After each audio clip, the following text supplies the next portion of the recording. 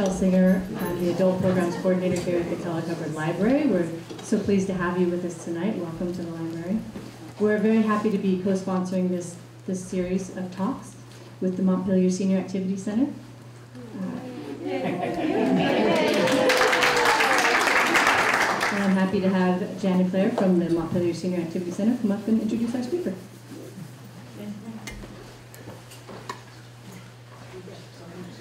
Hi folks, it's wonderful to see a packed room and thank you for, for Kellogg Hubbard Libraries um, co-sponsoring the series and also hosting tonight. I'm pleased to announce that three of our other speakers for the next three events are also in the room tonight, which is exciting. Um, the last speaker is not, but the next three are. And um, the, the next three talks are happening on January 27th. That's going to be um, cultural observations from a month in Japan with Peter and Therese, who are here in the front. Um, on February 10th, we've got On the Edge of the Arctic. That's going to be looking at Canada with Barb and Whit Dahl, who are here also, back there.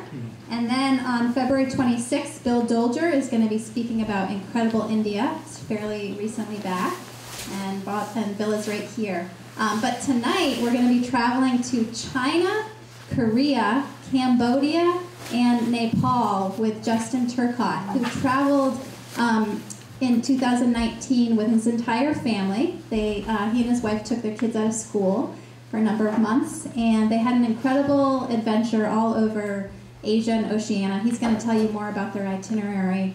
Um, and Justin has had a special relationship with the Senior Center for, I believe, seven years, going on eight now, as um, the contractor for our Feast Nutrition program. So if you've had lunch at the Senior Center or someone you care about has, um, Justin is the master chef behind the Feast program, and we've been really grateful for that partnership.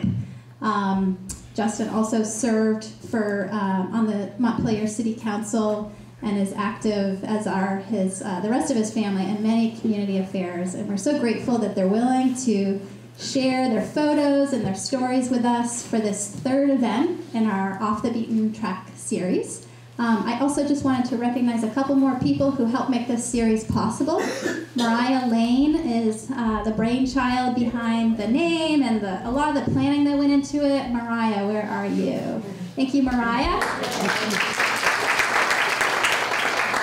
And Barb Smith also helped in many ways with the logistical uh, planning of the series. Um, I did. Thank you. I did bring um, a number of posters that are in the back if you'd like to grab one before you leave, and that summarizes the rest of the events as well as some that have taken place already. I see Barbara Garton, one of our earlier speakers, is here too. Thanks for coming.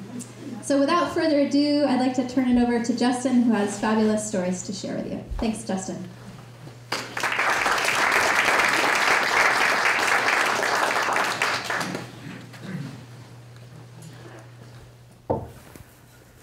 Thank you all for coming out on this cold night, and thank you, Jana and Michelle, for helping organize this and get it all set up. Um, you'll notice on the back table there's a scrapbook uh, where I've collected a bunch of the tickets and little pieces of paper that I tend to hold on to and then mail back in packets from time to time. And uh, considered also bringing some uh, snow and ice samples from the top of Everest, but I figured you probably had enough here. Um, we're honored to be able to share our experiences, and we realize that we're privileged uh, to be from a first world country where pretty much anyone who puts their mind to it uh, has the both freedom and means to travel the world. Uh, we don't take this for granted, um, and I acknowledge this because um, the majority of people on Earth uh, still do not have that privilege. Um, also, just a little bit of uh, bits and pieces, housekeeping before I get right into it. Um, any uh, facts or statistics uh, I sourced exclusively from Wikipedia. Um, this is an online crowdsourcing resource online.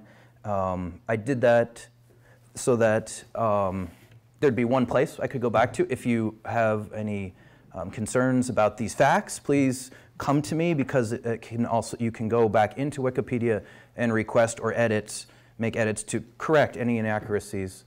Um, and I would encourage you all to uh, consider visiting or donating to Wikipedia as it's a great um, online crowdsourced uh, piece of information, way to get information. Um, everything else in the presentation is just first person observation um, or um, deduction. Um, questions? I'm the sort of person that loves to uh, ask questions as the presentation is going on so they don't get lost. So please don't hesitate to throw up a hand if you see something or you're wondering and want to get a little more detail. As best I can, I'll recognize people and answer questions um, as we're going through the presentation. Additionally, there will be question and answer at the end of the presentation. So if you're more comfortable waiting till the end, um, I'm happy to spend as much time as we need to to try to answer any questions that folks have. My greatest hope tonight is that this inspires you to go out and travel and that you feel a little more like you were with us on this trip by the end of the night. Um, in terms of an overview of the evening, I'm going to first I'm going to talk a little bit about um, how we got to where we are today, briefly, um, and then talk about where we went. I have uh, four folders of slides that are um, set up to run for four countries Korea, China, Cambodia, and Nepal. Um, after that, um, I'll you know, be making, as we go through those pictures, I've tried to kind of organize them in terms of, uh, well, being a chef, of course, there's lots of food pictures, thanks to my daughter Annika. She was our photographer on the trip. Um, the people, uh, the sites, but you will probably notice that um, while we took a lot of pictures of cultural icons and World Heritage sites, um, I didn't spend a lot of slide resources highlighting those. The reason being is that um, there's plenty of better photographers and videographers who've done ex extensive documentation of many of these sites, and I would encourage you to, if you're really interested in learning more about pandas or the Great Wall of China, to watch some of those videos. What I hope to give you is more of an overview, and specifically because, um, let's see, so except with the exception of Korea, my wife and I had visited the other three countries about 18 and 15 years ago. And so going back now, what really struck me in the, the title of this talk, uh, Time Capsule, The Velocity of a Changing World, uh, comes from the conclusion that um, uh, I hope to share the, uh, the, the, idea that um, the world is changing incredibly fast. And, and please do not use Vermont or the United States as your metric for how quickly the world is changing. That's what I was doing prior to going back to China, Cambodia, Nepal, and um, it's not an accurate yardstick to be using on the world today. So uh, I hope to shed some light on that, and then, as I said, answer some questions at the end. So this was our family as we uh, prepared to depart the U.S. and introduction to eating three meals a day for the next eight months, uh, prepared by someone else. Here's Nicholas eating one on the plane. Um, the airline, of course, was uh, very well appointed with all the modern conveniences. And we had made some preparations prior to departure uh, in terms of getting the kids backpacks,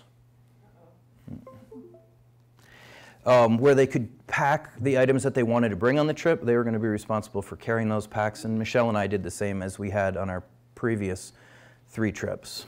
All right, question already. Yeah. That's all you brought?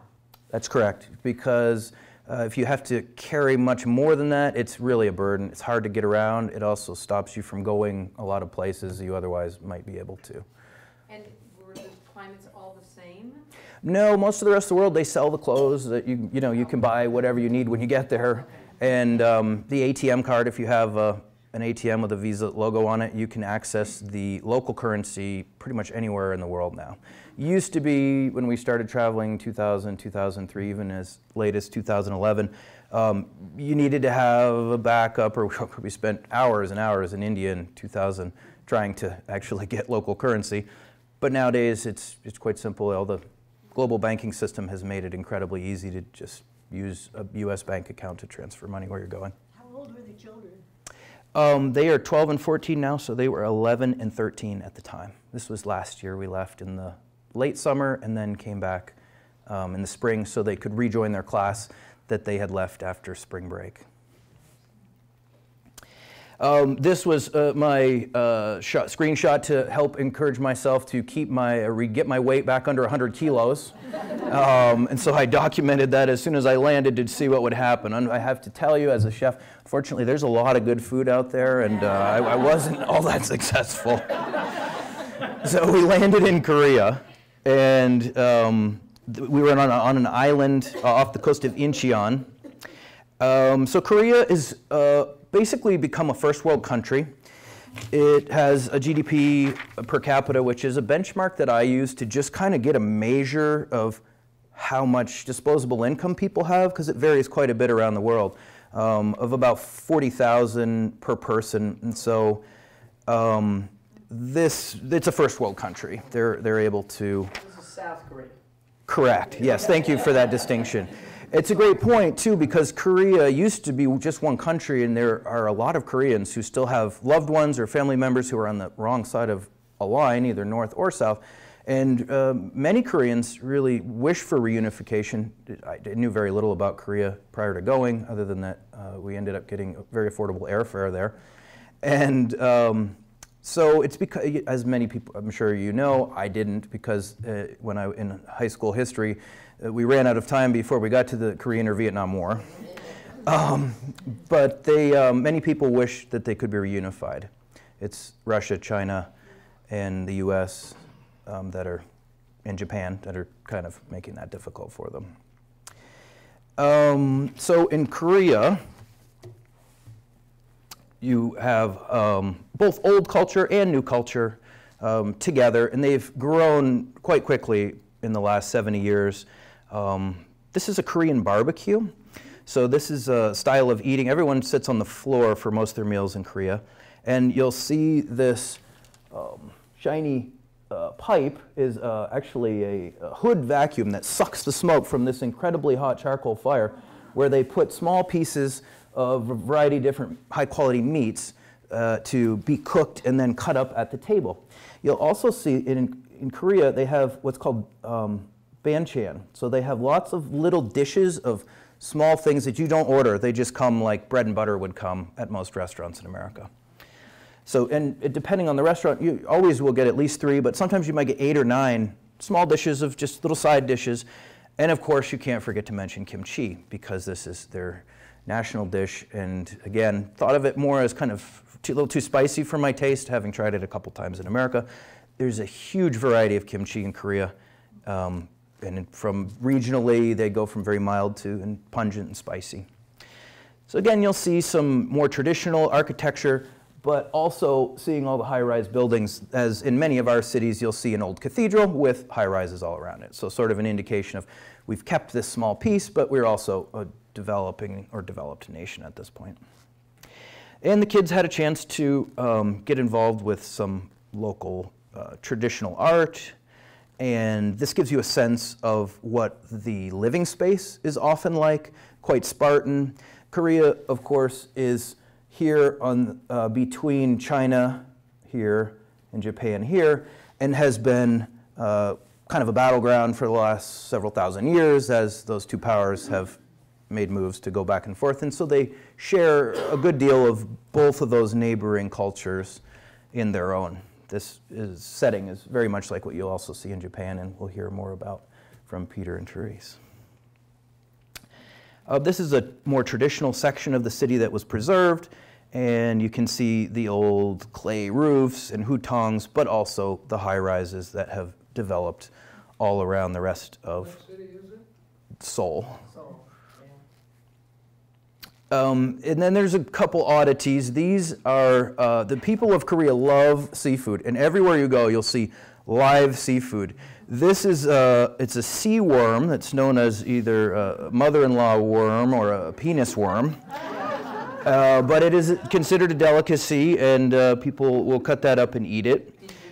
Uh, no, that was a little bit. The, the squid I'll go for. Oh, I, we uh, were able to try lots of fresh shellfish, regular fish. That one, no. Was it alive? Oh yeah, those are they're they're all wriggling around and they have teeth too inside the these little holes. If they open that up, there's these sort of bizarre, really sharp, circular teeth. It is. It's a really kind of. But pretty much everywhere you go, you'll see fresh seafood in tanks. So there'll be glass tanks, these are squid, every kind of fish, shellfish, they love fresh seafood. Uh, this is our introduction to how to communicate in countries because everyone pretty much knows what this means, or, you know, this, or this. Um, but in this case, we were um, working on getting, what were we having to? We had to try to find a Kinko's copy to make preparations for our Chinese visas. And so we were trying to explain this to this man in a stamp making shop, and we had started using Google Translator, which, for those of you who don't, who don't know, has a couple really helpful features for international travelers. One is the text to text, so you just select the language that you're talking in and then what you want it to come out. You talk, and then it prints it on the screen and then says it both and prints it in their language, which is super helpful. The most amazing one for me was when there's another one that is like a reading feature. You turn on your camera, you hold it up to a sign or a menu, and it, you tell it the language that it's starting in and what you want it to come out in. And literally before your eyes, you watch the characters just go and change into the English words. So that was a new one to me. It was pretty, very helpful, especially with menus. Degrees of accuracy. Agree, agree. But bet much, much better than zero, which is what I get looking at most uh, Asian characters. So you got Um, copies made. We did eventually, and we got the visa applications, which was just was as hard or harder. Uh, virtual reality. So Samsung and uh, many other leading technology com- companies are located in South Korea, and so we went down to the tech center and did took a, took this for uh, a drive. It was my first time ever trying that, and it was an incredibly immersive, incredibly powerful tool that I'm amazed hasn't been adapted by more people uh, globally. It's, uh, it's an amazing experience. And of course, the, the, the primitive toilet has been elevated to a much higher standard.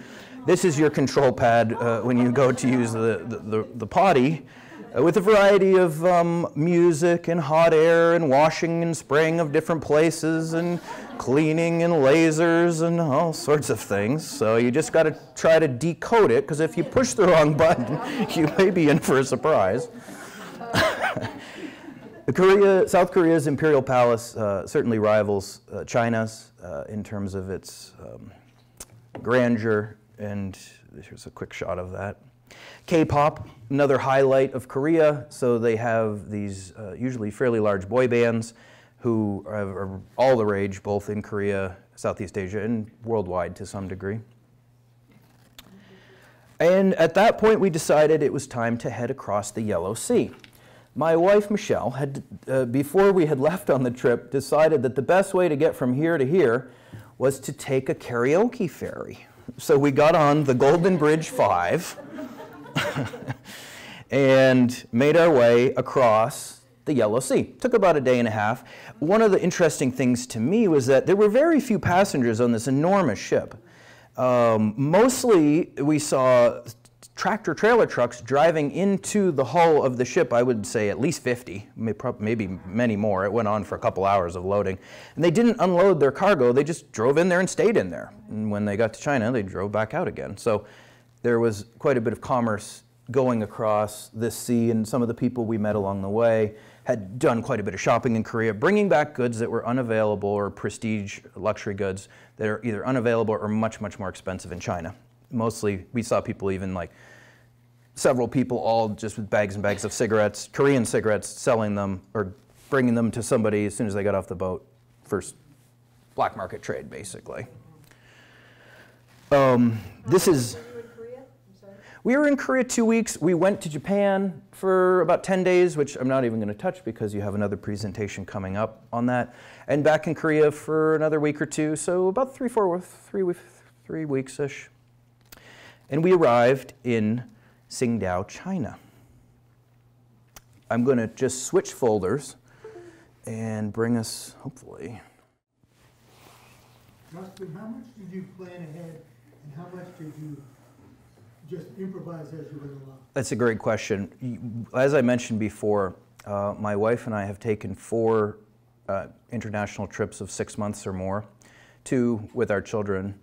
Um, and the way we really like to do it is um, to just buy a one way ticket. We find that's the best way to get just get the ticket. You know you're going to go, and then you have to start thinking about well, what are we going to do when we get there? Or how, what do we want to do? Um, a couple exceptions would be country, you know you have to do some visa research because certain countries like China are quite strict on their visa process, and so you actually have to present yourself in person to an embassy before you get to China, or so that you can do that. We debated going down to New York for a couple days to do that in a consulate, and elected to do that in Korea. So we we uh, applied while we were in Korea, came back a couple weeks later. Uh, but the application process is is really um, quite a bear.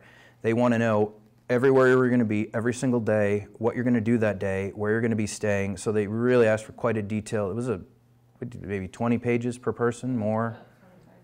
Um, quite a quite a process. Did you know all those answers? I mean, Well, no, we didn't. So, so, but you have to have reservations that match what you're saying. So we ended up making a whole bunch of reservations and then canceling them once we got there.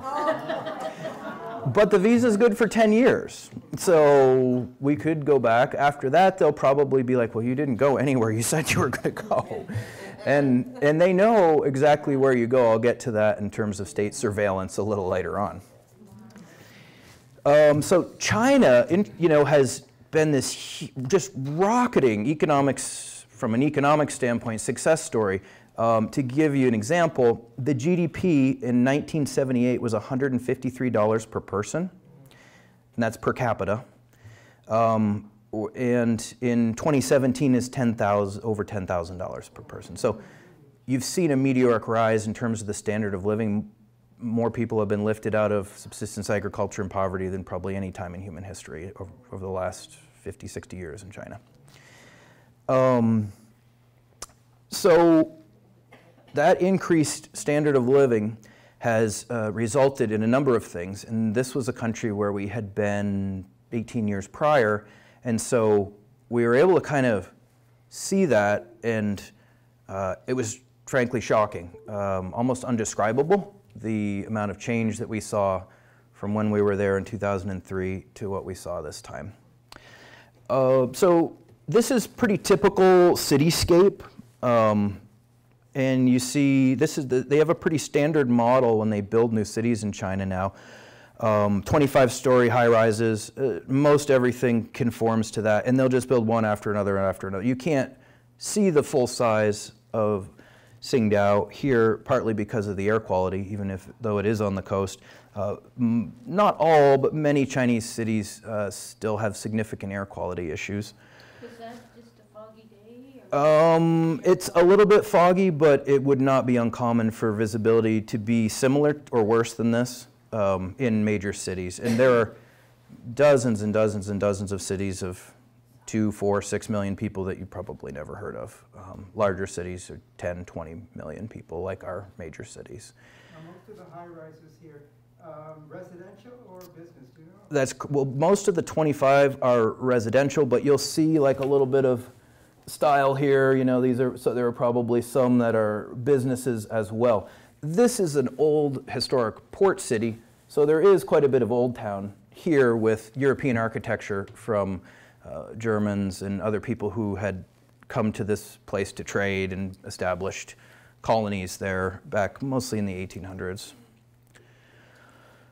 Um, this picture reminds me when we were getting off the ferry, and this was really uh, kind of an introduction to uh, communist function and, bureaucracy. And you're managing to try to guide a state of 1.3 billion people. Um, it's not an easy job, and so you have a lot of rules and regulations given how quickly things are changing. It, it's probably quite stressful for people that are living there. And this, there's a funny little story. When we got the, the boat pulled up, you know, right here, and the, you know, the gangplank comes down, and basically, like right here, there's a bus. And everyone had to, you, was, we were all in line. So I'm like, oh right, here we go, you know, we're, we're in line. And as you can imagine, there's several, you a lot of people on this boat they would load us into the bus. The bus would drive down this road, turn around, and pull up right over here. And so you're just thinking like, well, that's kind of weird. And it's, it's it, I, the only conclusion I could draw is it's either sort of an introduction to like, no, these are the rules, and no matter how silly they may seem, you're going to follow them, or you're not going to get in. Or there just been so many problems in the past with people getting off the gangplank here and walking over there. They'd jump in the water, or they'd try to run away. I don't know what would people would. I don't know why, but it was just sort of eye-opening to to remember that. Now cars in China are a lot smaller. Um, and that is a child's car, but adult cars aren't much bigger.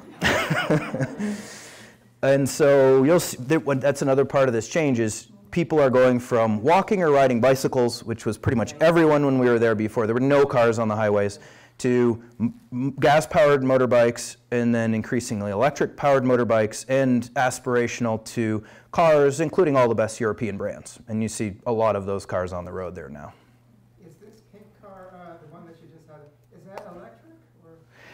Um, I'm not sure if it's gas or electric. There are some electric vehicles. We, you know, because Beijing was hosting the Olympics a few years back, there was a big push to clean up their air quality. It was horrible when we were there before. And, you know, we, we would hear a lot of sort of anecdotes and stories from other people who were either working, expats in the country or tourists. And what they were saying is, yeah, they got rid of all the two-stroke motorbikes in Beijing. They issued a proclamation and you could bring your old bike down and get a brand new electric bike. And if you didn't, then your social score would start to go down and eventually you'd be arrested and your bike would be taken away. But they don't just send them to the scrapyard, they load them into container boxes and ship them over to Africa where they're doing massive infrastructure and development projects. And as they're building that brand new railroad and road into the mines and the resources of Africa, they're giving away these old motorbikes. So they didn't really take it off the road, even though Beijing's air got a lot better. Another form of transportation, you still see people hauling, you know, by bicycle or small electric or motor-powered bikes, large amounts of garbage and recycling. Again, small vehicles, regular vehicles and bicycles all pretty much share the same streetscape. And this is be a pretty typical four-lane, five-lane street um, with automobile traffic and public transportation as well. Also not at all uncommon to see subway and uh, train, surface train service in cities. Um, this series of shots focus on transportation. This was the, the bunks in the trains. We took several overnight trains. Train travel incredibly affordable in China. Many, many people still use the train system. Um, and you would sleep three on each, uh, three high on each side and gives you some sense of the size of the compartment inside pretty standard looking trains, unlike Japan, which had a very, very modern rail system. Now, reading the uh, sign to figure out which train you're supposed to get on was a little more challenging. Keep in mind, they keep cycling too, so just about the time you figure out what those characters mean, usually changes. and bicycles are still very much in use, but this starts to give you some sense. This is just a, you know, a typical, you know, popular sort of nighttime spot in a city, but there's I don't know, a lot of bicycles. People, you know, there's a lot of people, a lot. Um, and now we're kind of transitioning. So we started um, right on the coast, and we wanted to try to get out towards where the Silk Road was. So we traveled several days to come out towards the deserts of Dunhuang. It's about two thirds of the way towards Urumqi, which is at the far western part of China. Um, and a lot of the um, the people aren't there. And so we would travel, we traveled by train to get there, and then lorries once we were there. And, of course, by camel as well.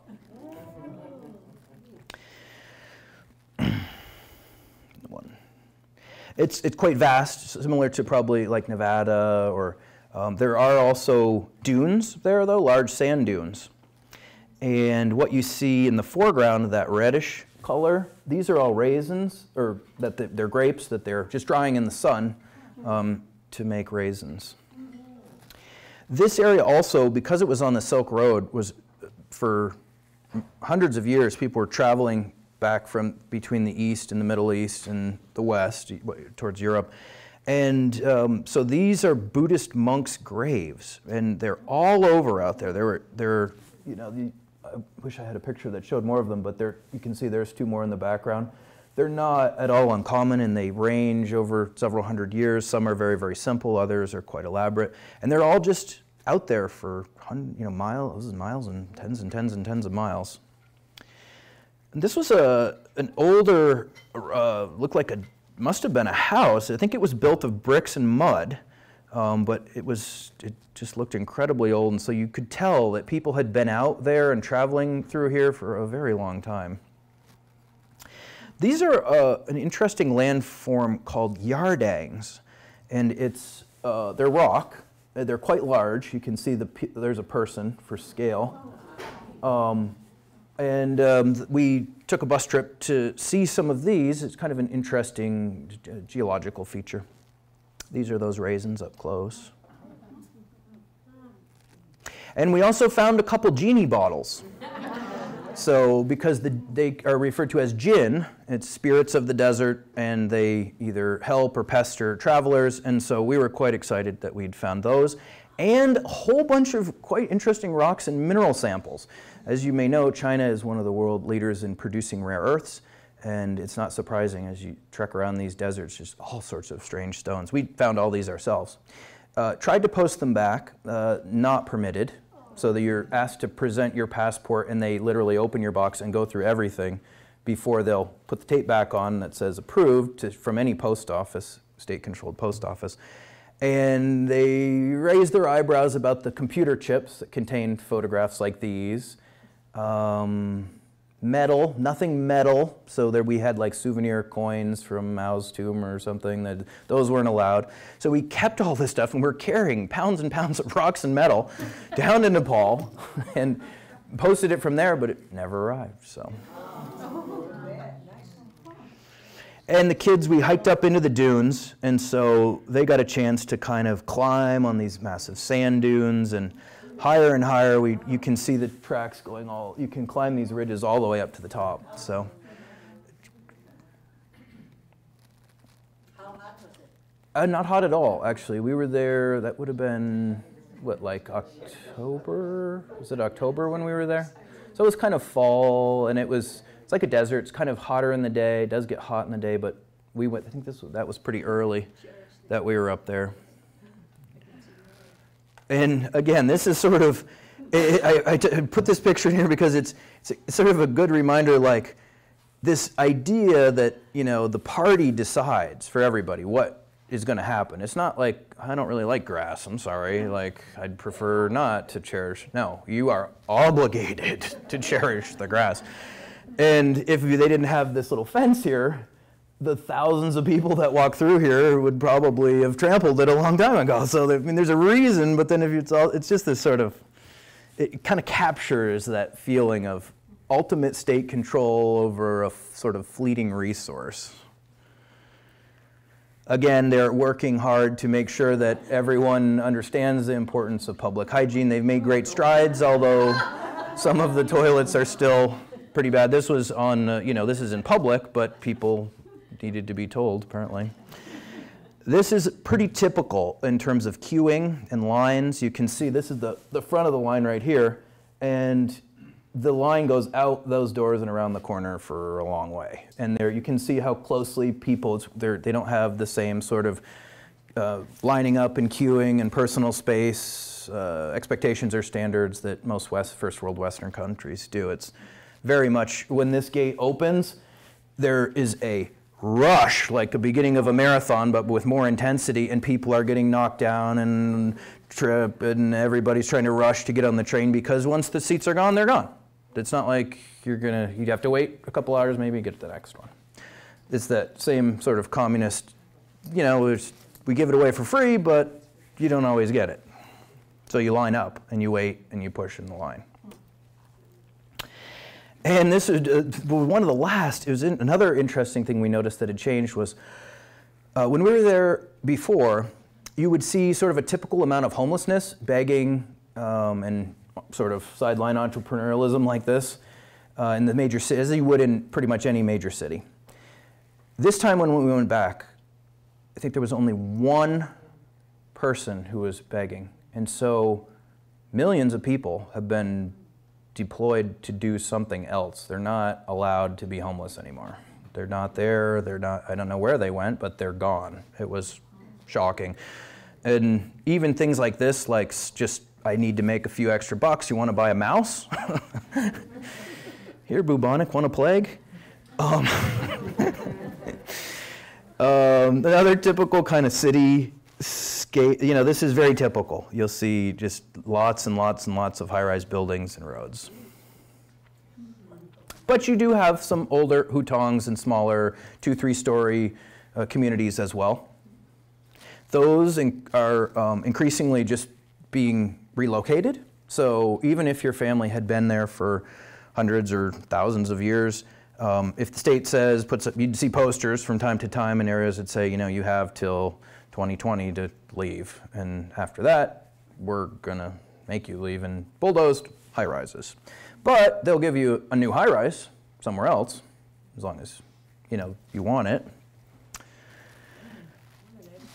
Yeah, this was nice. Justin, did you Yes. know, when I was there, the retirement age was fifty-five. Did you notice what it was? I don't know the answer to that. Um, you see, I'm trying to think. You see people definitely working into old age. I don't know if it's by occupation or, I mean, my impression was there was definitely sort of a strata. If you're a party member, well, their, their whole education system is working you towards this test, these placement tests. Kids are studying so hard. I think it was one of the best things for our kids to go there to see that oh, kids aren't like, you know, on their phone or don't want to go to school. They're like, it's, you know, eight hours a day, and then you go to four hours of enrichment after school, uh, six days a week, right? And you're not goofing around playing sports, you're studying really hard to get a good score on these exams. This has been the case back to the days of all the emperors. They had this series of tests where if you are smart, you get pulled into the party. So they're kind of skimming off the best and brightest to keep the party strong. Um, and once you're in the party, then you pretty much are, you know, you have responsibilities, but you definitely have distinguished yourself uh, from the other 80% of society. Um, so that was sort of interesting to, to see the, you know, the party members driving around in really nice cars or having meetings. They all drive like either black or white cars, so you can tell. It's just, it's, you can see that it's a thing. Um, cranes, a lot of new construction still happening. We saw this when we were there before. Um, I remember being in Beijing prior to the Olympics and I think counting 20 cranes operating 24 7, just building, building, building.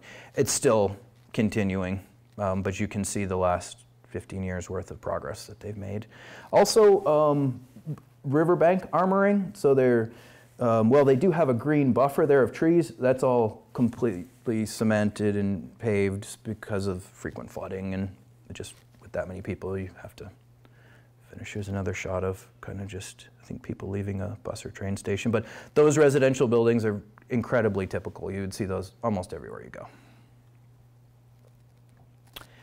There are, of course, still historic structures that have been preserved, um, generally in the centers of cities um, and in touristy areas. So again, just kind of typical cityscape. Oh, I have a question. Yeah. Uh, Did your kids um, get stopped and want people to take their pictures with them Yes. constantly? Yeah. Yes. Yeah. Yep. Your Westerners are still quite novel, and they're very curious about us, and they also very, very um, interested and insistent about practicing English because they recognize that being fluent in English is a huge advantage in a global market. Um, although more people speak uh, Han Chinese than any other language in the world right now. Um, so, food and beverage. Um, like most of the rest of the world, uh, the Chinese don't have any particular stigma or puritanical history that um, you know is uh, very kind of restricting alcohol consumption. So you'll see in uh, for instance, there's kegs on the street everywhere. They make tons of beer there, and you can fill up plastic bags or containers and just walk around with beer if you want. No one really minds. Um, Peking duck, of course, one of my favorites. We're going into a series of food slides here. Now, dumplings were pretty much the staple food. And Nicholas was appointed the dumpling dictator, and his job every day was to find dumplings. and you see um, the baozi and the jiaozi, um, two different styles of dumpling, this one being kind of a more puffy rice. unit, and these are sort of more what you think of as Asian dumplings. Yep, stacked steamer baskets, and you just tell them I'd like four baozi and however many, or jiaozi and baozi, and they just bring them. And when you eat those, they just bring more if you want them. So, a little bit of soy sauce, dipping sauce, and they come in a variety of different shapes and colors and sizes. Those are, uh, I think, black squid ink dumplings. Um, this was a delicious eggplant dish. It had like this sugar, kind of a hard caramel on the outside of it, and it had been, you know, cut into baton and deep, quickly deep fried. Just absolutely, oh, it's really nice. A little bit of chili flake too there. Now, another big change is when we were in China before, meals were always rice, large amounts of rice, and one or two or small, unless it was a banquet, a small amount of protein, and it'd be considered extremely rude if you took anything before you took a large portion of rice and had a small amount of vegetable and protein garnish. That has completely changed. Now, animal protein is widely available and affordable to most Chinese, and plates like this that are 50% more beef are the first things that come. Some restaurants don't even serve rice anymore. What about noodles? I remember them making noodles on the street. Definitely. Noodles, noodles available too. I've got some, a shot of some buckwheat noodles. Um, but mostly meat, you know, has become, it's a, they like the taste of it, it's a prestige, they, it's affordable now, and they're consuming huge amounts of animal protein. And they're getting bigger. Yes. This is a a fungus dish, black fungus and pork, I believe, with some green peppers in there. We used to often find just sort of these candied peanuts, but with a little bit of fresh red onion um, or green pepper, kind of as a side dish, but just a nice way to kind of add a little crunch and sweetness to a meal. And of course, more dumplings are in the background, but um, rice is still available. Um, in this case, looks like they've mixed some meat into it. This was a shrimp hot pot. So Szechuan hot pot or hot pot dishes are quite popular where you'll get a pot, they'll bring you ingredients, and then you put the ingredients into the pot, and usually with liquid, and kind of cook it yourself at the table. Oh, we- also, um, Chinese very much into sort of the whole more like there. This wouldn't be at all uncommon to see the whole head shell, the shell on the shrimp.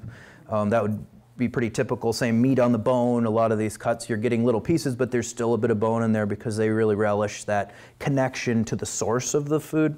They have really great cuisine there. A noodle dish, um, some glass noodles here, and vegetables again. And then you get into some of the more exotics. So these are scorpions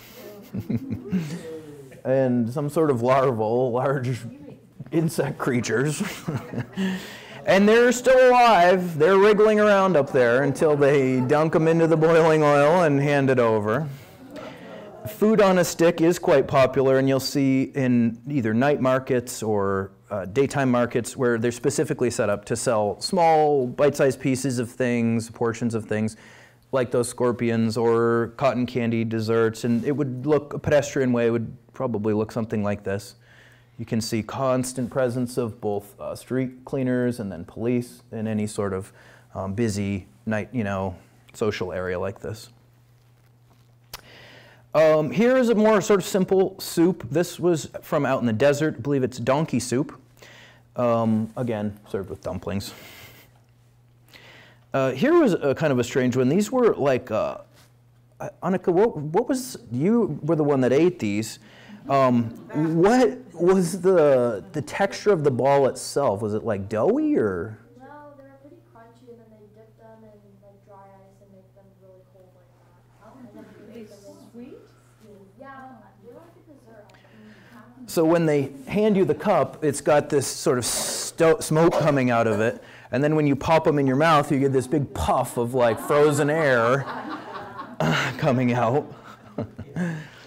um, this is fruit, so they'll take a lot of care in terms of presentation to, you know, cut off the top and segment. I think this is grapefruit or similar citrus. A simple buckwheat noodle dish. Question about noodles, and so noodles are definitely available and common as well. Roasted chestnuts became one of our favorites and are available almost everywhere. So, uh, kind of like a sugary mix with this little black beads that help them toast uniformly. So they're really perfectly cooked and, of course, served warm in a paper bag.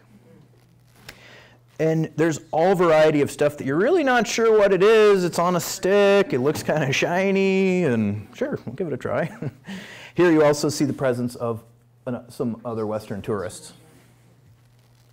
This is the Szechuan hot pot, and I will tell you, this was one of the spiciest things I've ever eaten in my life. And they have, this is the outer moat, then this is supposed to be like the safe zone. and you get platters of different things. In this case, here's a couple types of mushrooms, but vegetables and noodles or tofu and meat or seafood. And you just kind of drop all this stuff into this. It's heated from below, so it's on your table. It's an ins- installation on the, every table, and it's uh, kind of bubbling hot. And the more stuff that you're adding, the more flavorful that broth is getting.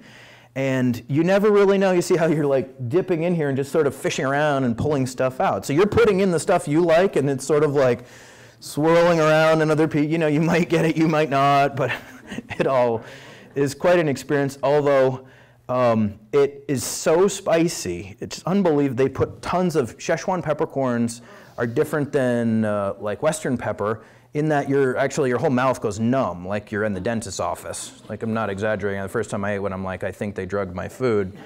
Um, and of course, lots of Szechuan chilies. Um, and here you can see also there were cans, like uh, soda cans of uh, sesame oil. So they, they put like, I don't know, six or eight on the table just when we sat down and I'm like, well, what are we gonna need this much oil for? Well, it helps to, with the heat. So you're dumping, you're taking it out of the liquid and then dunking it into like a bowl full of oil so that your palate doesn't get completely anesthetized by the rest of the spice and it's hot.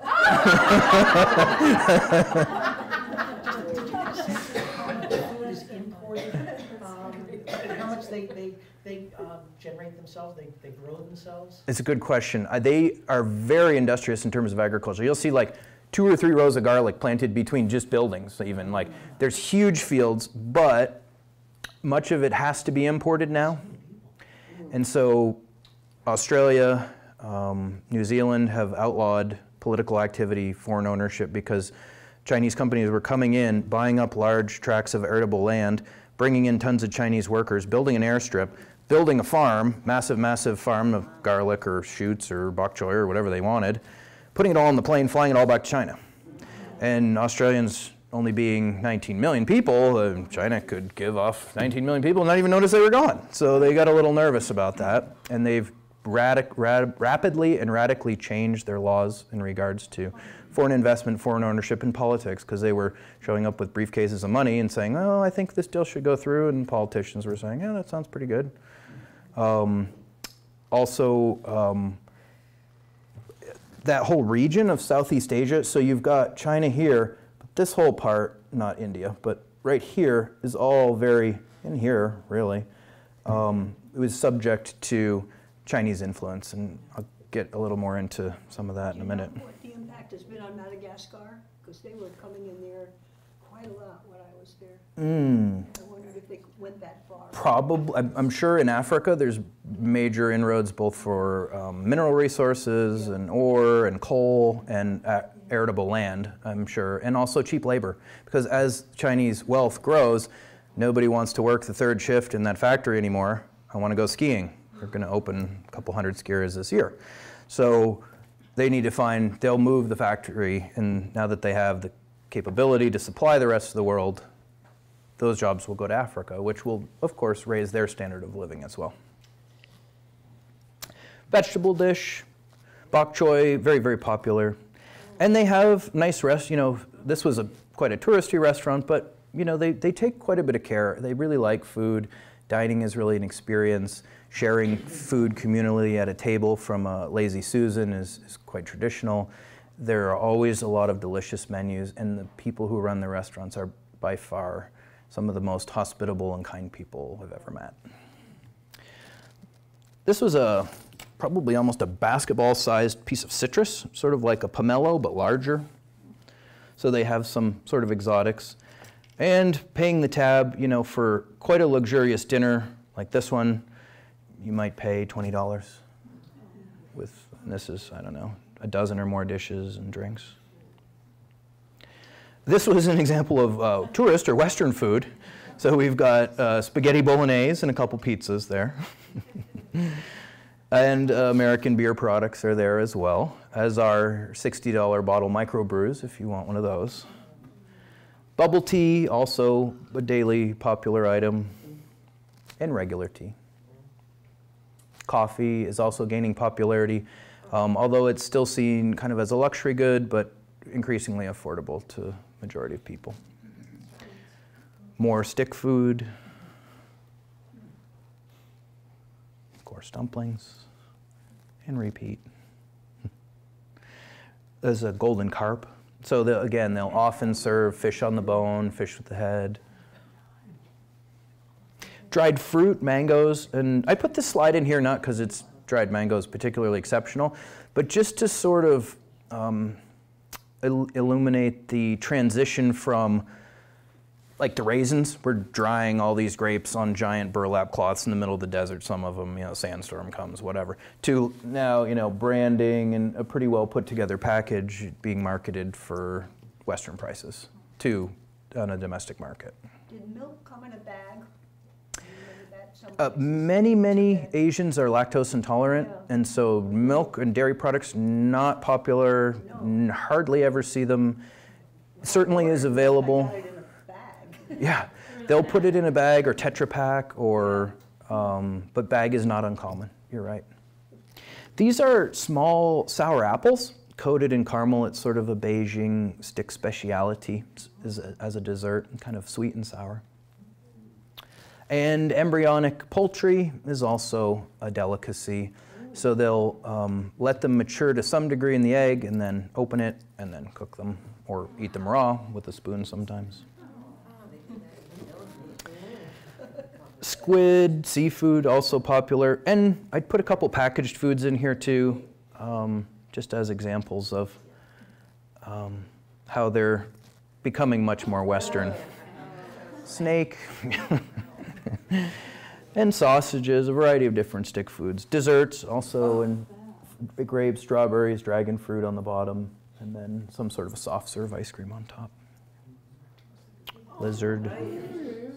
This was a delicious dish. It was, um, it was like a mushu pancake with Peking duck in it, and it was just a little piece of small street food, but absolutely just delicious. This was a fellow who befriended us and brought us into his restaurant and proceeded to serve us a multi course lunch and give us a tour of the kitchen. Um, and mostly seemed quite keen on getting his daughters to come to the US somehow. now we're in the um, Imperial Palace in Tiananmen Square, and I'm afraid these slides might be a little mixed together, but they're pretty much right next to each other. And this gives you some sense of the sort of detail of um, some of the sculpture work. Um, this is um, the entrance to Tiananmen Square, and you can see Mao's portrait still prominently displayed there. Um, the access to the square itself had changed a lot in the last 18 years. All the I don't we don't seem to remember any sort of fencing like this, and there's a lot of fencing now, a lot to kind of help keep and partition, and you can't get into the square except through controlled access points, um, which you're subject to facial recognition and searches, et cetera, to get into this public space. This is a great example of sort of the just the growth and the excitement in terms of um, Chinese productivity. This is a flower display. It's made all of synthetics, metal and, and fabrics and textiles. And they were putting it up in honor of something that weekend in Tiananmen Square. But the literally the size of this thing, I'm like, you're doing this is your idea of a flower display, okay? like these these little tiny those the stems of the flowers are like six inch steel pipes, okay? Um, it was pretty impressive. There you can see it from a distance in Tiananmen Square. Um, Beijing again, and some of just, just of course, as I said, I'm not going to show you tons of slides of the Imperial Palace or some of these touristy places, but I picked just a couple just to sort of show like the incredible, you know, attention to detail and craftsmanship that went into some of these sculptures. Lots of gold and carvings. This is inside the Imperial Palace, so traditional um, imperial architecture. It was a forbidden city, so you weren't allowed in there unless you had some business in there with the emperor or his court or this, you know, the court. And heavily, heavily decorated both outside and inside the buildings, surrounded by a moat, all on all four sides. So you would have to swim and then climb that wall to get in there. Um, lots of gilding and just again incredibly intricate decorative work inside all of the many of the buildings in the imperial palace. Again, sort of these myth- mythical beasts, sort of half dragon, half turtle. And we came across this a couple times. You know, you start to see these patterns as you go travel around the world and go to these museums. And I, for some reason, I'm always kind of in, intrigued by uh, the blending of animals and humans or, or cross-species animals and you know the centaur, all these sort of mythical things. But you, you see this all over the world. It's not just you know Greek mythology or the unicorn. You see icons of these all over the world, and so I, they're kind of interesting. This would be kind of a typical crowd load for the Imperial Palace, so it stays quite busy.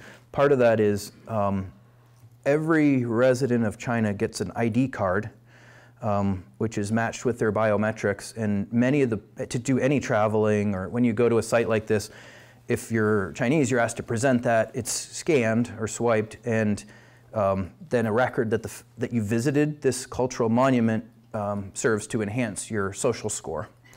So there's a number that everyone has, like a credit score, but in terms of how well you're behaving.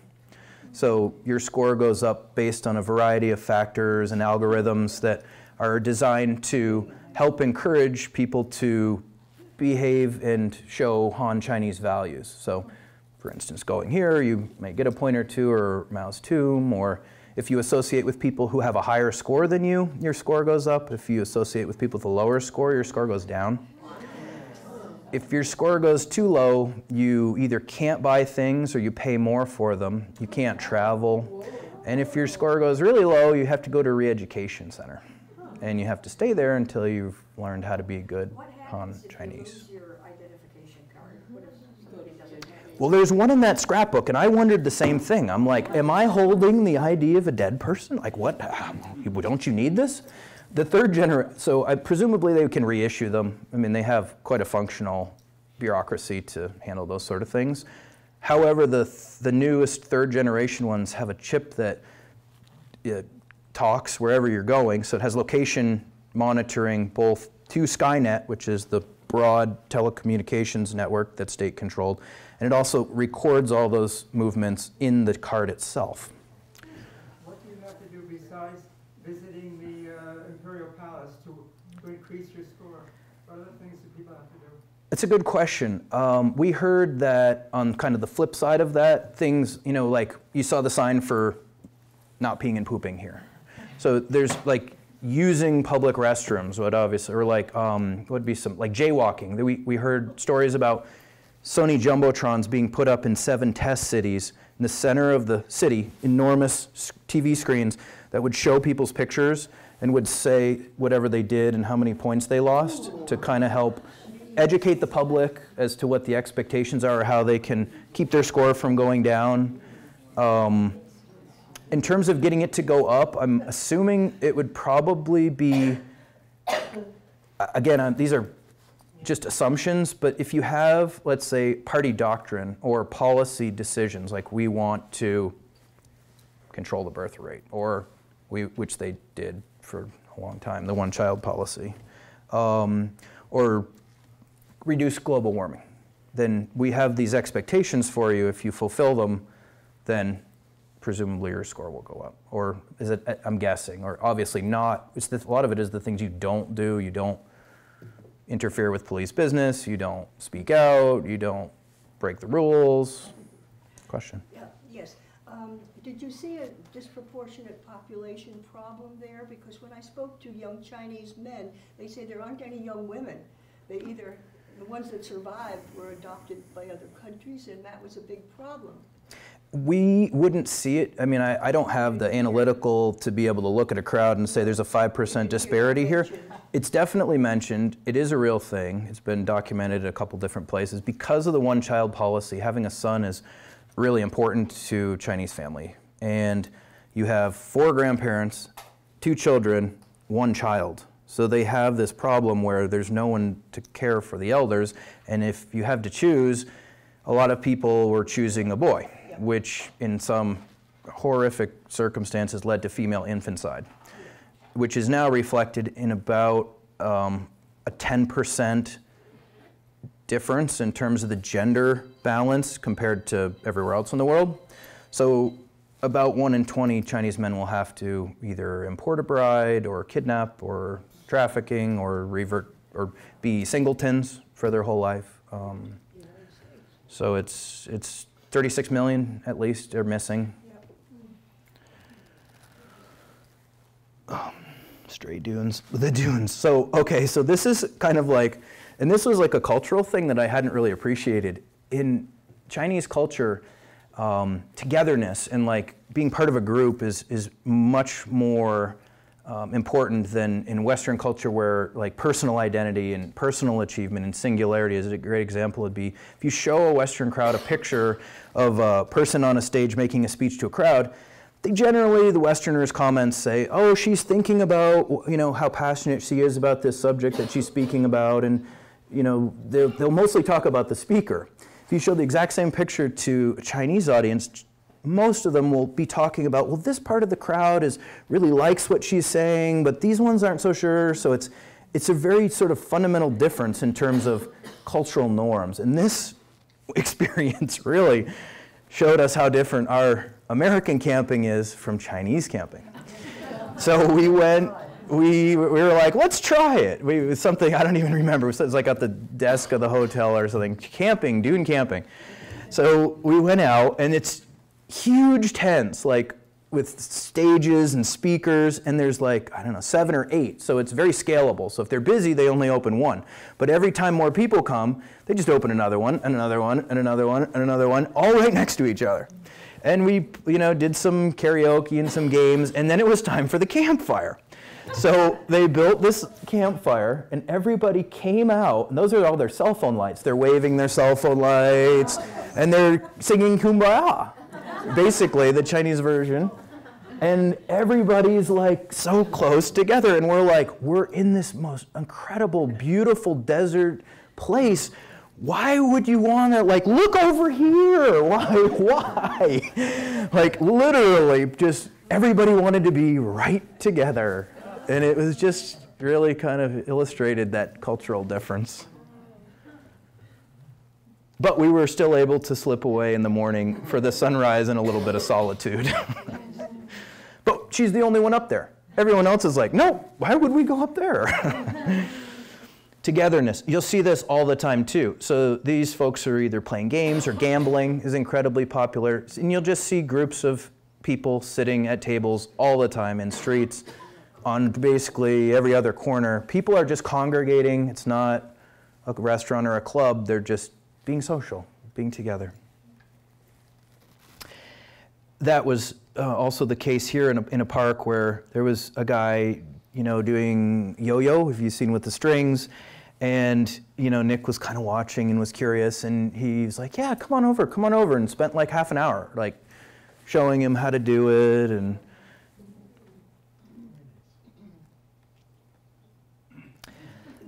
Great Wall, and this is not at all uncommon. You'll see security cameras on pretty much every corner of every street, on every door of any transit center, bus stations, train stations, um, on every stoplight with a flashing strobe every time a car goes under it so they can capture the license plate, who's in the car as much as they can on every single car or vehicle that passes through that intersection. Oops. That one. Oops was on the Great Wall, but you'll see those pretty much everywhere. So this is the Great Wall, and as I'm sure many of you know, there was hundreds of years worth of walls built. It was not just one wall, There's, they're all over the place, and they range in age over several hundred years with the intent of mostly keeping the Mongols from coming south. Uh, the problem is, no matter how good any wall is, there's usually a door that you can bribe someone to open, which made these walls not very good at keeping Mong Mongols out, but really good at moving military soldiers and supplies. And you can see, and I'll there'll be a couple other slides here, but the it'd be a lot easier to run a cart over this than this. Or march troops, and you'll see the absence of stairs, even at steep inclines, because they were rolling things there were horses and carts and military stuff going through there. And they would often use the ridge lines, like this ridge line here, you, you, wouldn't, you would expect where if they hadn't built it here, they often incorporate the natural geography as part of the wall. So it's much bigger when you build it kind of in the ridge or you block the valleys. And a popular attraction, again, surveillance. outposts where, you know, garrisons where they could warm up or store food or as they were guarding the wall.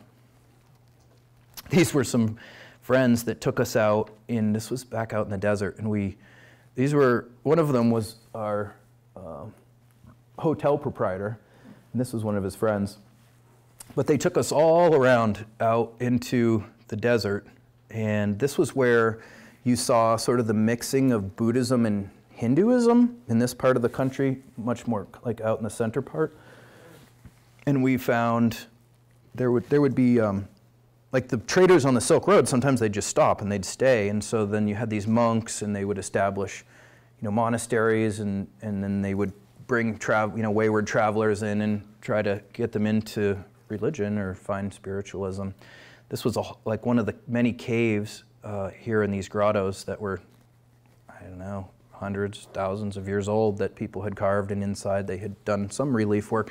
Nothing particularly sophisticated.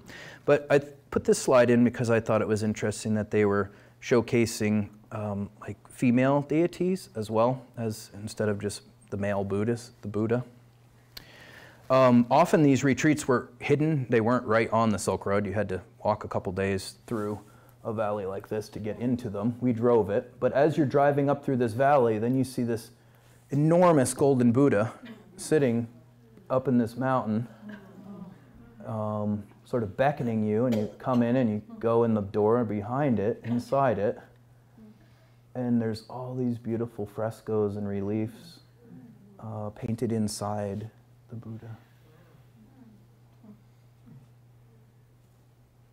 And it's there's no one there, you know. No, it's like abandoned. There's maybe one or two people driving up and down, but I just really like, you know, each of these characters is, you know, rich with symbolism and, you know, that there's probably a story I'm not, you know, and don't know enough about Chinese culture, but these paintings are just very, very rich in terms of meaning.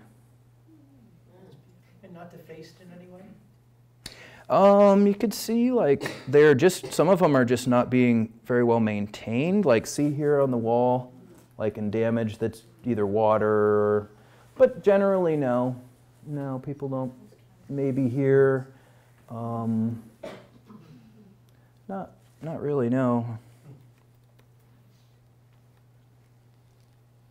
And as we got further and further up, there were a few people that were living up in these old monasteries, and they're still probably, you know, an ethnic minority, but are uh, this is much the way life was prior to all the advancements with they're literally drying their food, which is corn on the ground. That's their water supply. Here again, Hindu influences with the multiple arms of Vishnu and some of the statues. A couple artistic objects, again, incredibly rich art in China. They're very into ceramics and fine artwork, incredible craftsmen and women. This is a ceramic camel in a museum that we went to. Most of this, the ceramics in this museum were, and again, it was pretty much lost on me, but this, they basically had invented glaze, and they were, this was like the first time anything ever got glazed.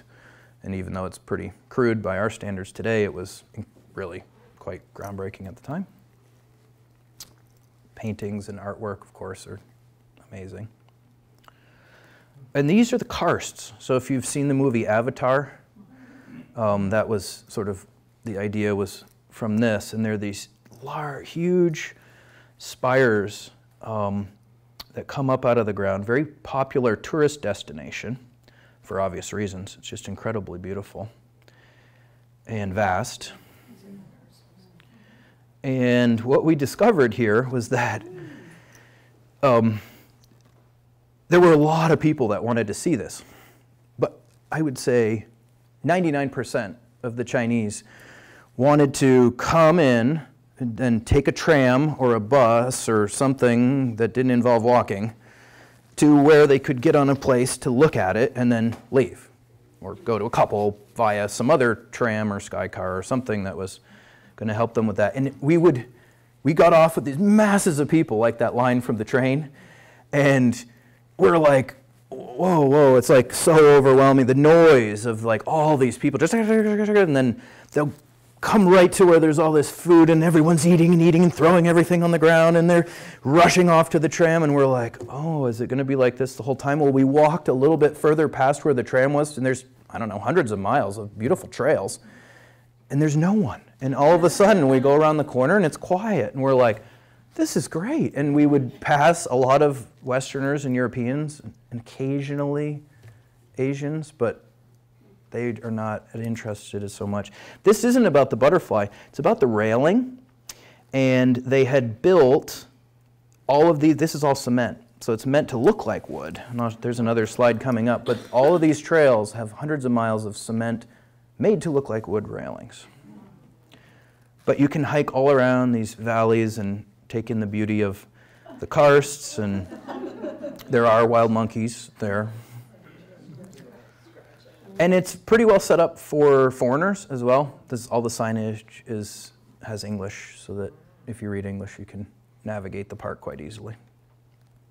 But this is another example of one of these paths, but it's all cement. And you can see some of the detail. They, they really did take, you know, they must have, I can only imagine how many hours it took because they, they sculpted in all the knots and all the sort of imperfections and the grain of the wood. They would, everything. It was and these are the karst fields. Did you see much wildlife? Generally, no. And again, this is a generalization, but Chinese will eat anything that walks, swims, crawls, flies, and so songbirds, all these things have just been eaten. There's, there, and there's, there are reserves and preserves, but not many. It, you really start to realize how small the world really is becoming once you get up in the numbers of billion plus people wanting to eat every day. Um, so more natural landforms and some caves that we went down into. Cave feature. This was a piece of an illustration uh, uh, from the train station that has the genie, you know, from out by the Silk Road that I just kind of caught me. And same with this one. It's this, uh, you know, sort of mystical idea of the genie. The jinn is is real to them, or at least it's there in that. Sorry. And here we are at the Terracotta Warriors. So Michelle and I had been here um, again on our previous trip, but we wanted the kids to see it. And it turned out that the most interesting thing here in this uh, rather large pit, some of which is still being exhumed. You can see these are all just frag. This is what it looks like before they dig it up, and then they dig it up and it looks like this, and then they put them all back together. Um, but it was more, and could, this picture shows the building. So this is like sort of an aircraft hangar building with a dome roof to keep water from destroying the ruins, because there's huge historical significance here. And then there's uh, a little walkway that goes all the way around the pits, uh, probably room for about six deep is the width of this walkway. Now, we happen to go on one of their national holidays, and because of the increased affluence, many, many, many hundreds of millions of Chinese can now afford to travel. And of course, the Terracotta Warriors is on their list of places to go too. But this facility really only accommodates about 60,000 people a day.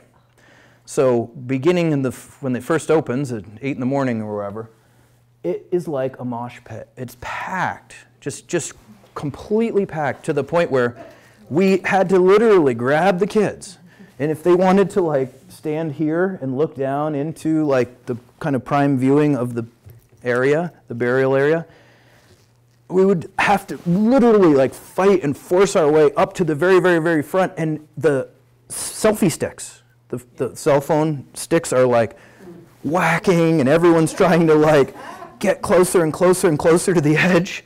Uh, we couldn't believe it. We were just, I mean, and it, you'd look around and occasionally you'd see a Western and you kind of, it just was like, wow. Like, you, it's just amazing.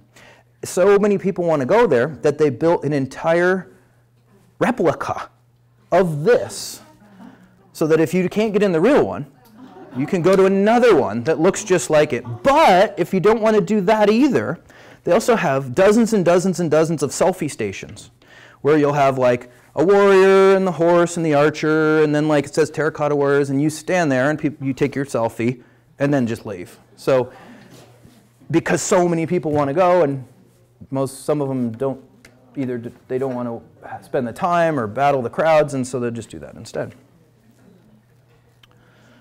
and they're still building you know these more and now we come to the pandas so this was in Chengdu, China, and they have an amazing panda breeding center. They have more live births and better stable panda populations than anywhere else in the world. Genetic diversity, they've done an incredible job with their program there. Um, and the city is quite proud of that. You can see the, right above the Prada store, pretty much have all the prime European brands in every major city for sure. And here they are. They're cute little buggers for sure. They are some of the most charismatic, just goofy, funny. You can't help but love them. They're just amazing. Again, well visited site. You would, people would kind of, as they would come in and out of their shelters, you'd, there'd be crowd, you know, you'd be rushing in these crowds to try to get to where you could see them. And again, uh, well set up for um, foreign tourists. Just really cute just adorable. That's a baby and its mother. She was kind of like kept nudging the mom, and she kind of eventually it's like started to fall, but it was just. and the red panda was one that I never really knew about. So this is a cousin, and they have a big long tail, and they can climb really good. And the enclosures were really nicely set up with a fair amount of natural habitat and open space where people weren't allowed so that you could kind of get the experience of seeing one not just like on stage, but in a forest.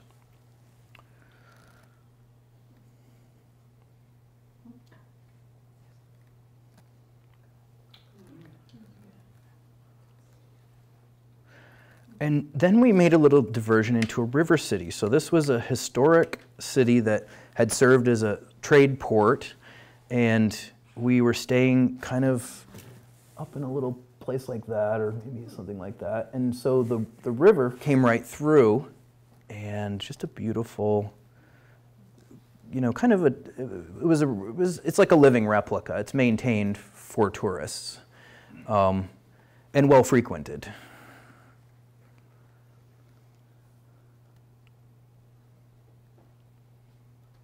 That kind of captures the feeling of that village. And you can go for boat rides and restaurants. And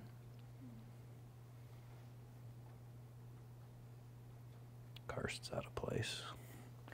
Costumes are big, so either people posing in historic costumes, or we saw a lot of people renting costumes and then walking around the sites dressed up like that. And they would have other people taking pictures, and that was pretty common. Dunes. And this is the this is the bus.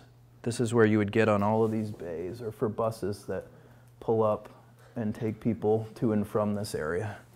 And that line goes again way back that way. But beautiful, you know, scenery, natural. Once you get away from the crowds, you find things like this. Well-maintained paths and just a lot of natural beauty. This is the, um, the key for the, all of the other non-walking services, the trams and air cars, and might look like this. an evening shot of the river city.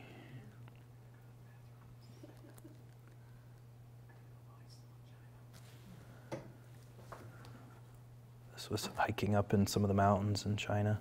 Public exercise stations are huge, so you'll see them in every city where there'll be like an outdoor gym with maybe 15 or 20, 25 pieces of equipment um, that all involve motion and coordination, and they're well used. So people, it's totally normal to um, do public singing, public dancing in groups, um, public exercising with just a bunch of random strangers, sort of like a gym, but outside and free. Did you see people doing like Tai Chi or? Absolutely. In the parks, Yep. on the streets, you know. Yep, exercising and, and stretching and, like I said, singing. And their parks are really very beautiful. So they, they take a lot of care in the aesthetics of the parks so that if you're, as in many cities, you know, retreating from a very urban environment, you would not be uncommon to see scenes like this with beautiful willow trees and bridges and um, also featuring uh, minerals and unique rocks. Like this is pretty typical that you'd have some sort of just really strange natural form. They didn't make that, it's, it looked like that, and they brought it there to, to display it for aesthetics.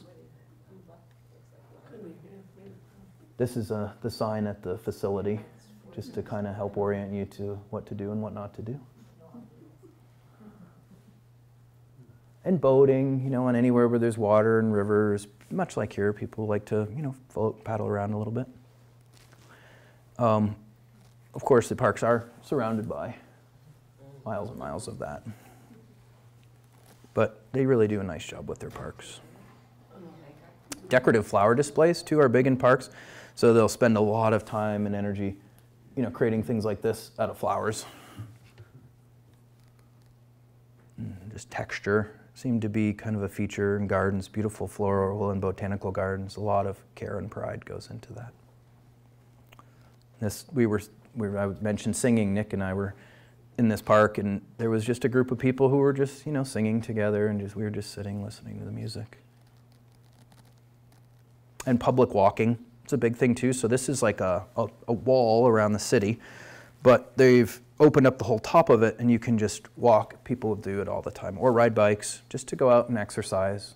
Very, very health conscious. Chinese are very conscientious of like getting too hot or being too cold, and what you're eating is really important, and your exercise, your yin and your yang, and qi, and traditional medicine is, is a huge thing. And this is us doing laundry on the rooftop, pretty typical. Um, they're also adopting a lot of Western traditions. This was a tiramisu cake being made at a in a pastry shop, um, a birthday cake that we got for Annika, and was just like anything you'd find in Europe or here, um, and priced accordingly. Um, again, the sort of uh, indicative of the not only are oops are people have pets, but they're have pet clothing, and so you can imagine the industries that come much like our pet industry, uh, where to service your animals. This is a, uh, a fish foot spa, um, so you can uh, pay and put your feet in there, and fish nibble the dead skin off your feet. Is that somebody you know's foot? Uh, I don't think so. We did we do? I don't think we did that. We did it at Maidstone in Vermont. Right.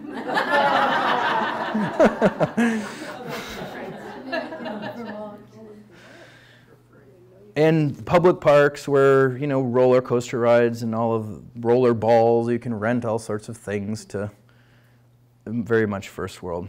This shot i put in again it's the translation software on a Huawei phone and i put this shot in because it became clear that with the surveillance states reach that people if you raise the wrong topics on these translations they get they just shut the phone off because it's all recorded it's all tracked it's all associated to them and they don't want to have anything to do with any sort of questions about well what's that building over there or who what do they do over there nothing like that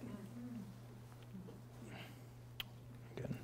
Uh, this is i guess we're kind of getting towards the conclusion here in terms of lifestyle i already mentioned this is a picture of us but animal protein is abundant and consumed in, by everyone now.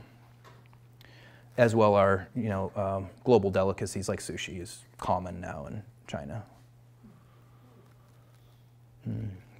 Nature beauty, there's still many things there to see.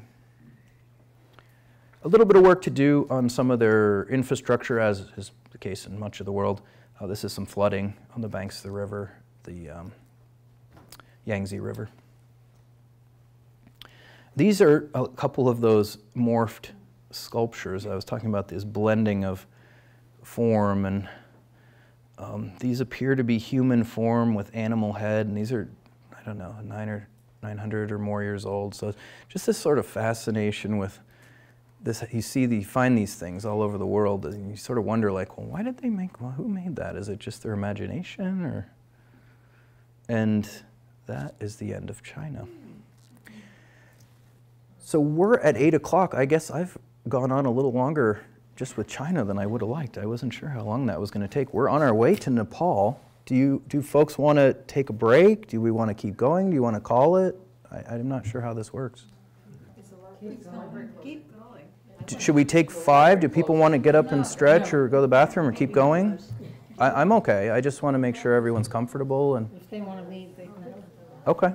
Yeah, please don't. You're not going to hurt my feelings at all if you need to go or want to go.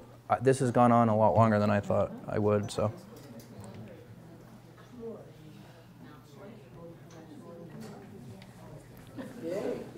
That was in Nepal.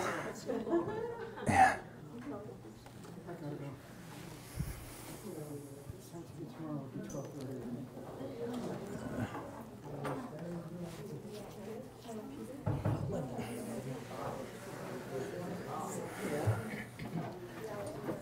I think what I'm going to do is I'm.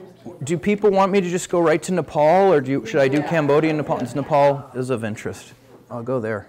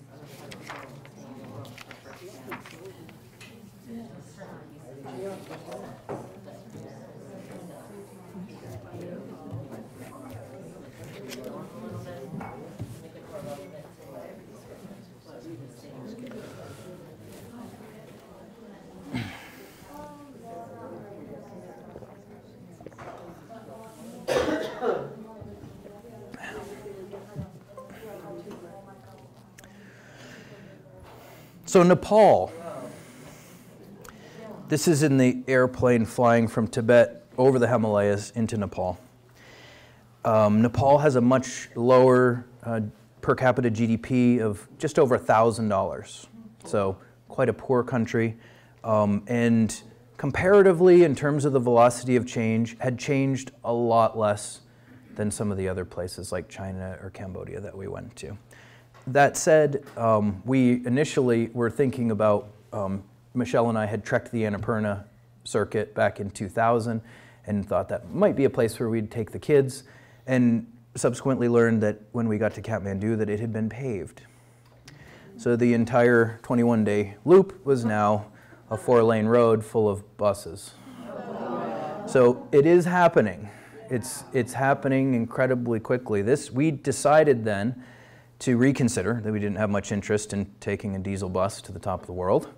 And um, so we were talking about it as a family. And Annika and Nick were like Everest. It's got to be Everest, Everest, Everest. So we're like, I had some concerns on the first, the, you know, is it expense, the price, the safety, the how logistically, how does this?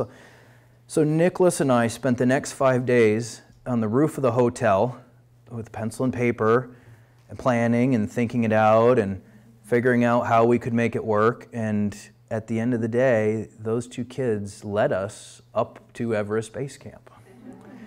So this is um, some photos of that. This is their transportation. Uh, rickshaws. This is a parts yard, but it's um, either um, walking. This would be their version of um, you know pickup truck. That's a functional rickshaw, so it's human powered, and you sit in it and they pedal you around. Uh, they certainly, you can see, they have cars and motorcycles as well, but it's not uncommon to, or walking, of course, is an option. Um, this would be uh, more like a tractor trailer truck. That's a yak, and you'll see all the um, propane cylinders here that are being carried up to altitude. and smaller loads of uh, provisions. Um, helicopters can only go to a certain altitude. Uh, planes also struggle, and visibility is terrible in the mountains and the winds. It's just not really a safe environment to be traveling by air. So unless you have a paved road, you know, we all kind of groaned about that paved road, but the person who lives up there doesn't really want to walk 10 days to get their rice every day. So they, or carry the 50 pound bag back 10 days once they get it. So you kind of can understand why they might want a road. Donkey caravans, also a big part of how things are moved around. Um, can get a little tricky when you're trying to come the other direction. Um, Jeeps like this, these are Indian made Jeeps, and they break, well, that was at least, I'll tell you some Jeep stories. Uh, generally and fairly, barely, barely functional vehicles and just constantly breaking down. But there's a, you know, a strong community. Everybody helps each other and take a part off mine or give you a jump, or we all stand there and look at it. and Kathmandu is their biggest city. Um, last time we were there was about a million people. Now it's about four million uh, big influx in um, poor Indians coming north to find work. As you know, instead of earning a dollar a day on the farm, they can earn five dollars a day washing dishes or carrying bags, um, which has led to huge urban sprawl. You'll notice in Nepal cities, three, four stories, maybe five stories is the highest they're going to go. They don't have proper cement quality or engineering to have safe buildings, plus earthquakes. Um, but there's no skyscrapers there. Um, and you're almost always in the shadow of a mountain somewhere. You can't see it from Kathmandu, but as you get higher in altitude, um, this is sort of what towns look like. So cobblestone streets and buildings made of stone um, to accommodate mostly tourists. We're on, you know, probably the most popular trekking route in the world. So um, it's mostly all tourists going up and down that trail. And this is sort of what a city might look like.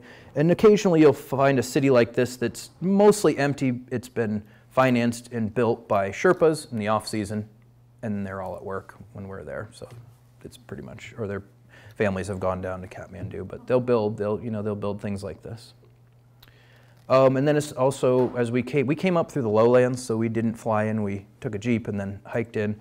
And if you get off the Everest trek, you're going to see a lot more stuff that looks like this. Um, this is Kathmandu again, and you can see the big stupa there on the top of the hill. Um, they have a lot of plastic waste. Uh, ramen noodles are very popular, and you can imagine maybe one meal a day, the four million people eat the ramen out of the package, throw it on the ground. Pretty quickly, pretty much everywhere, there's a foot or two feet of dirty plastic from a variety of basically food packaging mostly, um, which then start to like block the roads and people moving, so they scrape it all together and burn it, which is why the air quality is the way it is. Um, but once you get out of Kathmandu, it's obviously incredibly beautiful and cleaner. This is in Namche Bazaar. And not uncommon to see animals in the streets and along with everybody else. Kathmandu again. Yeah. At night. And from the rooftop. So cisterns, you know, pretty much everybody has a water cistern to supply their building with water. And this is sort of a typical trail in the lowlands, and these go somewhat sequentially. So we're going to start down around 5,000 feet and end around 18,000 feet at base camp, and then turn around and come back down down obviously goes a lot faster. So you're kind of hiking through uh, forested, low, you know, mountains, but not like high altitude mountains. So you'll still see trees here. Um, things are fairly green. Um, there's water, and there is also the ever-present uh, mule and yak trains. Yaks mostly just used at higher altitude. Um, but you can see humans carrying heavy loads as well. And just tons of like Sanskrit tablets and symbolism everywhere you're on this trail. Like every village you come to will have piles of these tablets, which you're, um, if you want to keep your good luck, not fall off the trail or get hurt, or you want to get where you're going, you always walk around them counterclockwise when you come to one. So if, even if you're going that way and you see one, you stop and you go around it and then you keep going. This is the uh, security at the airfield on our way up into Lukla. And the kids, so we made a decision in that planning session not to use any guides or porters, um, just to follow the path ourselves. We knew it would be a pretty easy to follow trail. And that the children would carry their own uh, stuff and water. We didn't have to bring in our food because all these uh, buildings, this is, these are mostly tea houses, so they serve simple food. Tradition, the standard fare is uh, what they call dal bhat. It's rice, lentils, a pompadom, maybe some pickled vegetables, um, and that's pretty much, you don't really want to eat meat because there's no refrigeration and they have to carry it, so the further you get from the trailhead, the worse your odds are in terms of, so we basically went vegetarian for 26 days straight on the trail. No, that was another part of the planning is every day that you hike uphill, prices go up about 50%. Because somebody had to carry it an extra day so you can eat it. and it's just the way it is. It's, so, so you start out paying like 25 cents and by the end you're paying like $20. So we had to sort of figure out how much cash do we need because there's no ATMs, there's no, you, and then take it out and max withdraw, max withdraw, max withdraw in Kathmandu and then you're trying to like hide it in your shoe to like, and uh, so that we could make it. The bridge. Uh, did we have a little one? Maybe people had nothing that really stopped us. You got sick on the trip, but on the track to Bengal, you got like a sore throat. Sore throat, no diarrhea, dysentery, but I credit eating rice and lentils the whole time because they have other stuff on the menu, but you don't really want to order it. And there's still people flying, you know, for tours or getting as close as they can or trying to get further up the trail. Again, we elected to kind of do part of the Tenzing Norgay section from lower altitude. So these guys were kind of cruising over pretty regularly. This is the types of bridges, suspension bridges that we would cross regularly to get across rivers. And thank goodness, because going all the way down there and then all the way back up here sure saves a lot of time. But it's kind of scary because they're like wobbly, and then the donkey train starts coming across. It's like, yeah. Yeah. The rivers are all glacially fed, so they've got this beautiful blue, like that's not a Photoshop, it has this sort of almost iridescent blue tone to the water. And, you know, just taking a break, trailside to drink water. We brought a filter because plastic waste is not only incredibly expensive to buy bottled water, but you're generating all this garbage, which then someone's got to either burn or carry back down. So we just had a like a small Swiss water purifier, and every day we would pump and fill. See if I can see one in this picture. Yeah, maybe just on the side of Nick's bag there. you- They'll show up in a picture, but just reuse the same one liter bottle the entire time, or pick one up at a lodge someone else had finished with. Justin, the library is closing, so I don't know if you want to take a certain amount of time. Okay. So people can ask a few questions before we sit. You bet. Okay. Well, looks like we're getting um, shut down, but thank you guys for. You Um, must come back. thank you. Thank you. Yeah. Thanks.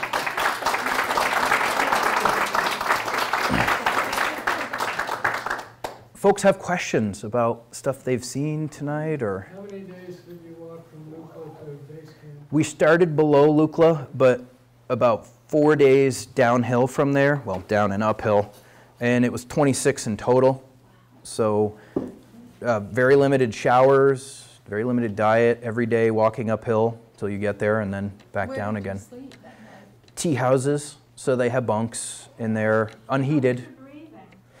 Very little oxygen. Once you get above like 15,000 feet, it really becomes pretty serious. And um, we did take Diamox the last couple days, which is a, a pharmaceutical that can help you with your blood um, oxygen levels. But it's you, you take you basically you take three steps, 10 breaths, three steps, repeat, repeat, repeat. Uh, not very. It, um, there's no one there this time of year in the fall.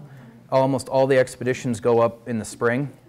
Um, so there was a couple tents. There was eh, maybe 20 tourists that had made that specific trek to get there. I was surprised at how many people um, had like signs and just to get to base camp, they had like planned their whole life for this thing. We just sort of went up there. Did you have to buy footwear specific? We didn't. I just wore like a pair of leather boat shoes and we got down coats because it does get colder and colder the higher and higher you go. So Um, when you slept in those tea houses, how did you keep warm? we, we rented down sleeping bags in Kathmandu before we left, so they're like a high quality down mummy bags and you were never warm until you were asleep and then you woke up and you did not want to get out of that sleeping bag. because then you had to get dressed and you only had two pairs of clothes and you can't wash them because they would just freeze. and there's no water. yes, sir. I'm curious about food. Did you ever get to the countryside and where all that food for three point three million billion people comes from? Um, we mostly, when we would travel outside of cities, which we, we travel exclusively overland, so we didn't do a lot of internal flights in China. And I mostly I have memories of, like for instance, two or three hours of driving past stone sheds, stone sheds, tile, blocks of rock, the, the, the, on both sides of the road for two hours straight.